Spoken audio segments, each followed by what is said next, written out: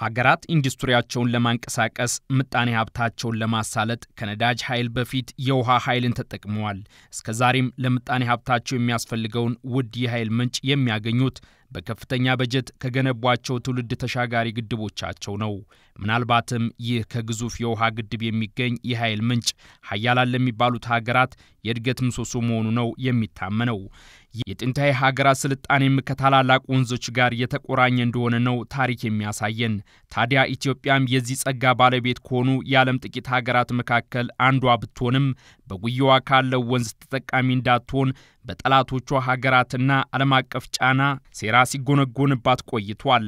በአባይ ወንዝ ላይ ግድብ ለመገንባት ጥናት በማስጠናት የመጀመሪያው መሪ እንደሆኑ በታሪክ የሚነገርላቸው ንጉሠ ነገሥት አፄ ኃይለ ሥላሴ ይህን እቅዳቸውን እውን ለማድረግ የሀገር ውስጥ የፋይናንስ አቅምም ሆነ የውጭ ሀገራት ድጋፍ በማጣታቸው ውጥናቸው ሳይሰምርላቸው ስለመቅረቱ በታሪክ ተከትቧል። ኢትዮጵያ ከዘመናት በኋላ በአባይ ወንዝ ላይ ግድብ የመገንባት ዓላማዋን በቀድሞ ጠቅላይ ሚኒስትር መለስ ዜናዊ መጋቢት 24 2003 ዓ ም የመሰረት ድንጋይ አስቀምጣ ወደ ግንባታ ከገባች ዛሬ ላይ አስረኛ ዓመት ዋዜማዋ ላይ ትገኛለች። በቆየው ድህነታችን ምክንያት በወንዞቻችን የመጠቀም መብታችን እስከ ቅርብ ጊዜ ድረስ በእጅጉ ተገድቦ ቆይቷል። ይሁንና ዕድሜ ለታታሪው ሕዝባችን ያን ዘመን በአስተማማኝ አኳኋን ተሻግረን ታላቁን የልማት ህልማችንን በሚሌኒየም ግድባችን አማካይነት እውን የምናደርግበት አዲስ ዘመን ተበስሯል። ከዛ ጊዜ አንስቶም ኢትዮጵያውያን ታላቁ የኢትዮጵያ ህዳሴ ግድብ ከሚል ከፍ ያለ አጀንዳ ጋር ተዋወቁ። በአገራዊ የጋራ ጉዳይ ላይ የማይታማው የኢትዮጵያ ህዝብም ከልብስና ቁርሱ ቀንሶ በሚደግፈው ፋይናንስ የግድቡ መጀመር እውን ሆነ። እነሆ ኢትዮጵያውያን 15 ቢሊዮን ብርንም ለግንባታው ተርፏቸው ሳይሆን የብሔራዊ ጥቅማቸው ጉዳይ ሰቅዟቸው አዋጥተዋል። ታላቁ ህዳሴ ግድብ ፕሮጀክታችን 10 ዓመት ሆኖታል። በመጀመሪያዎቹ ምናልባት ሁለት ዓመት ወይም እንደዚህ ሶስት ዓመት ሊሆን ይችላል ጥሩ አካሄድ የነበረው ቢሆንም ከዛ በኋላ ባሉት almost መቆም ላይ የደረሰበት ሁኔታ ነበር። በሀገር ውስጥ ፋይናንስ ብቻ በ80 ቢሊዮን ብር ወጪና ከስድስት ዓመታት ባልበለጠ ጊዜ ውስጥ ይጠናቀቃል የተባለው የህዳሴ ግድብ ግን ሀገሪቱን ሲያስተዳድር በነበረው የኢህአዴግ የፖለቲካ ኃይሉ አመራር ድክመትና ሽኩቻ ምክንያት አፈጻጸሙ በሚፈለገው ልክ ሊሄድ አልተቻለውም።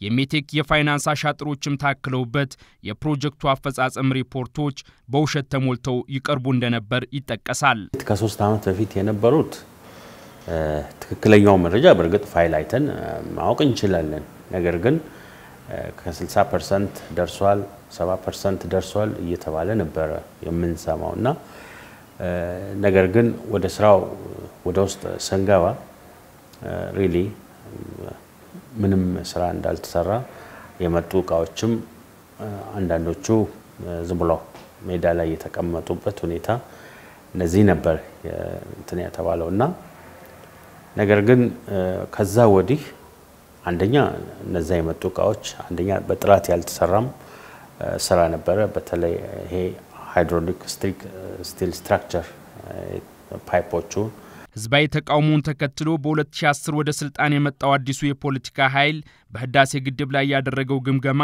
ከንድፍ ጀምሮ ማሻሻያ እንደሚያስፈልገው ነበር የተገለጸው። በዛ ወቅት በተደረገው ግምገማም ወትሮም ከባድ የነበረው የግድቡ የኤሌክትሮ መካኒካሉ ስራ ከሌሎች የግድቡ ስራዎች ሁሉ ወደ ኋላ የቀረ ሆኖ ነበር የተገኘው። ሪፎርም ከመጣ በዚህ ሶስት ዓመት ውስጥ የአንድ ብር ዕዳ የለብንም። ህዳሴ በሚመለከት ለሚሰራው ስራ ሁሉ ከፍተናል።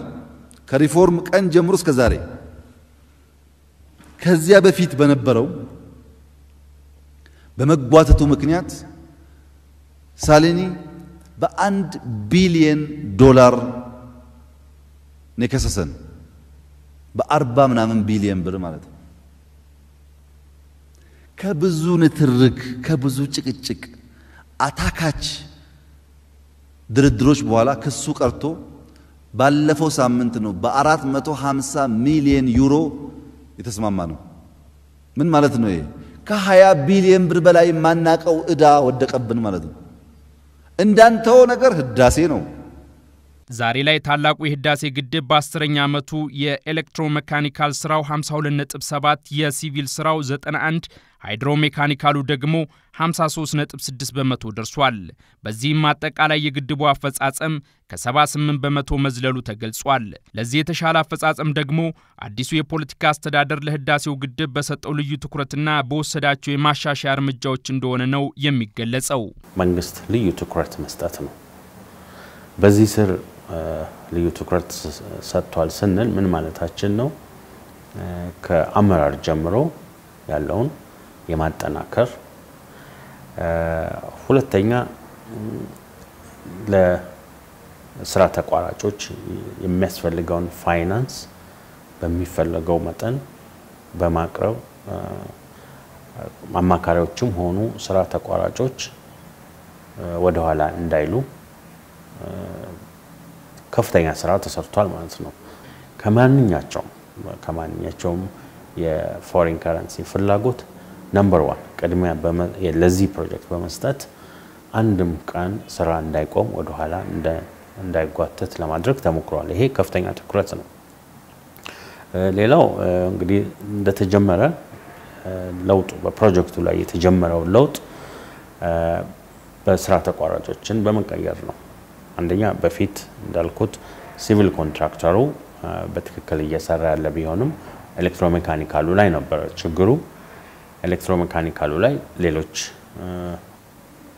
ከአምስት የማያንሱ ስራ ተቋራጮች ዓለም አቀፍ ልምድ ያላቸው እና በሌሎችም አፍሪካም ሆነ በሌሎች አውሮፓም ልምድ ያላቸው ከፍተኛ ባለሙያዎች እንዲገቡበት ተደርጎ ስራውን በተለያየ ተከፋፍሎ አንድ ላይ እንዲሰሩ በማድረግ አንዱም ፍጥነቱን ለመጨመር አፈጻጸሙን ለማሻሻል የተቻለበትም ይሄ ነው።